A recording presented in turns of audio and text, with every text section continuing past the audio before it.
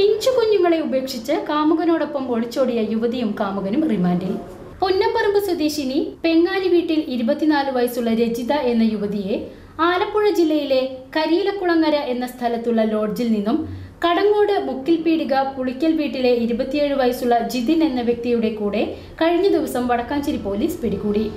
S I Aneesh S assistant S I Xavier K U senior civil police ഓഫീസർമാരായ Sajeev A V Pradeep A S Minimol എന്നിവരുടെ സംഘമാണ് arrest ചെയ്തത്.